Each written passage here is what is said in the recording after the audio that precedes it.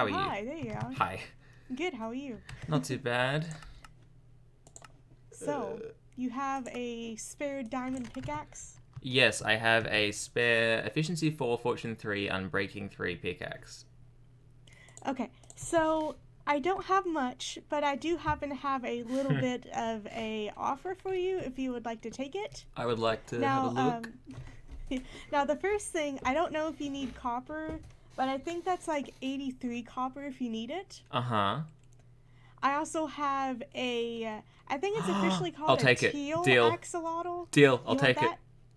I was gonna throw in a couple other things, but okay. yeah, that that that's like a white axolotl, so it's like the, it's not the most rare, but it's like the second most rare Ooh. one, What's the um? Yeah. What, what's the most rare one? the blue one. The blue one, right? I, well, the white one's pretty good, or the teal, whatever it is. I like it. Fun, fun. Cool. Cool. Here's your pickaxe. Well, thank you. It has um a couple durability off it, but it, it's basically as good as new. You know, I am fine with whatever. I only have like one diamond, so this is very good. Thank you. I think that was a pretty good trade with PB. Um, I did manage to get a very rare axolotl out of it, and I would have just taken the axolotl if she put that in the uh, barrel first. I would have just accepted that and then ran. So we also got some copper out of that. Not too bad, but um, I want to have a little look at our friend here. Let's have a look. Oh, look at him. He's so chunky.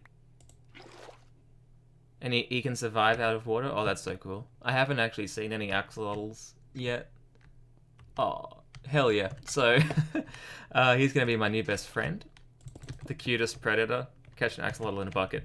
Wonderful. So, yeah, um, I have to come up with a name for him, and I, I guess we're going to put him in our base. Alright, so there's also an ocean monument right by the mountain here, and I'm going to go over there and try and uh, take care of business. And a good way to go through ocean monuments is with um, doors, because if you place a door underwater, I believe you can maybe you can stand in it like that. So uh, hopefully I won't drown.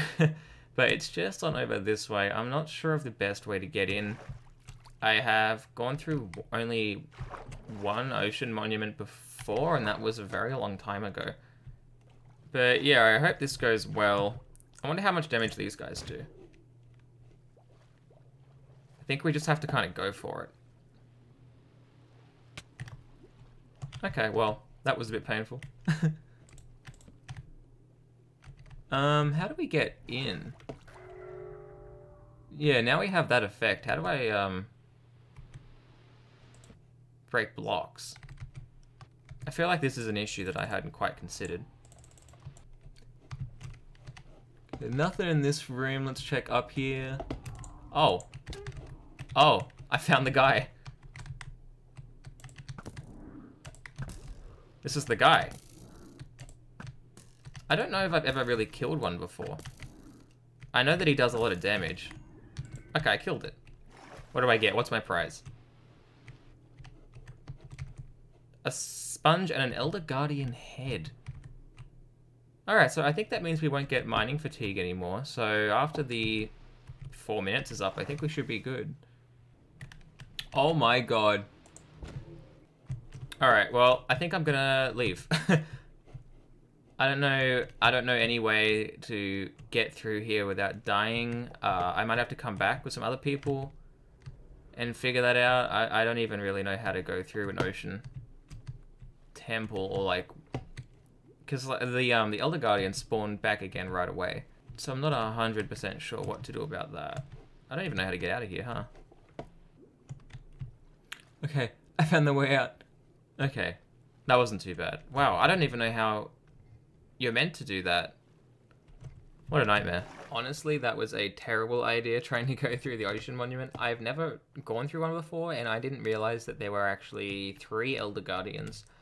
Uh, so we're going to go through that again, probably in a day or two, with somebody else on the server just to kind of give us a little bit of help. But until then, we can actually start working on our little mini base now. So in these chests, I have all these dyes. So we've got red, we've got yellow, we've got light blue, orange, we've got white, and we've got lime. And we also have a bunch of black wool and a bunch of terracotta that we're also going to dye. And my plan is pretty simple because on the last season of Minetopia, I think I was too ambitious and I tried to build things that were just way too detailed and I kind of got discouraged from building because it was just such an overwhelming thing to try and do. So I'm going to keep it simple, but we are going to build things quite large. So what I want to do is sticking out of the side of this uh, mountain here, I want to build a massive like Rubik's Cube. So it's going to be like half in, half out, coming out around about here. And it's going to be, well, actually I'll lay down some dimensions so you guys can kind of uh, get, a, get an idea for how big this is going to be. It's not going to be massive, but it's going to be pretty big. So we'll go one, two, three, four, five, two, three, four, five. So it's going to be four, five, like that long. But it's going to be a massive cube. So I think it'll look quite nice sticking out of the mountain over there. If I can make it fit. I don't know, we might be a bit pressed for room up there, but I'll try and make it work. I'm not entirely sure if replay mod works in 1.17.1, but I'll give it a go, I think. Alright, so now we have our big old Rubik's Cube over here, and it is a, it's quite large. It's pretty big. I mean, um, it'll it'll definitely have enough room to put chests and storage and stuff in.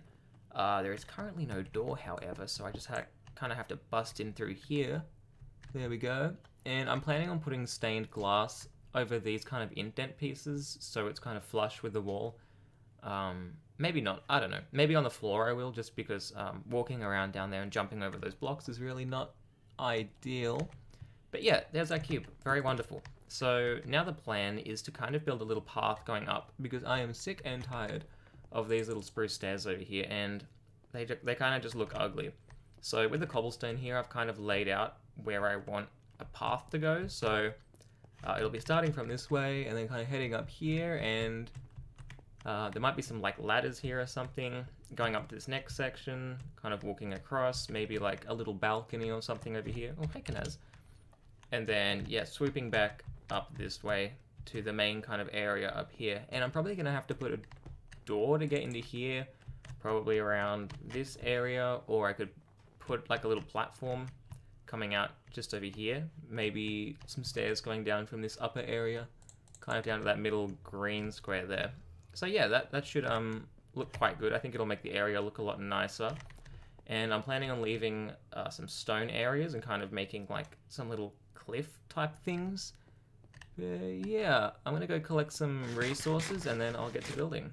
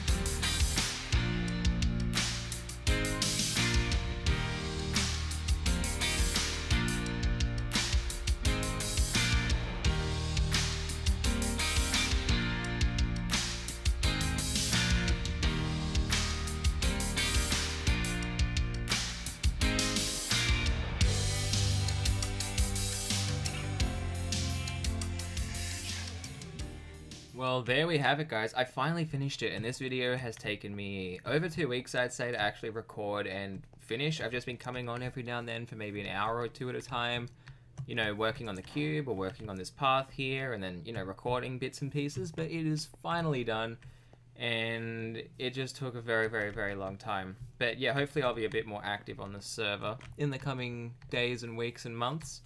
And um, yeah, I'm very happy with how this path turned out, actually it um, I had to change the mountainside drastically and basically create half of a mountain by myself. So that was pretty cool.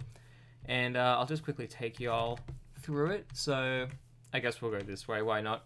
So you come around the corner here. I moved the portal from down here over to there. And I also added doors going diagonally down the cube. I don't know if I'll keep them doors because it kind of looks a bit weird, but you know, we'll see. Anyway, there's like this little overhang over here with leaves, and then the path continues down this way, and I decided to put in a ladder just to break it up a little bit.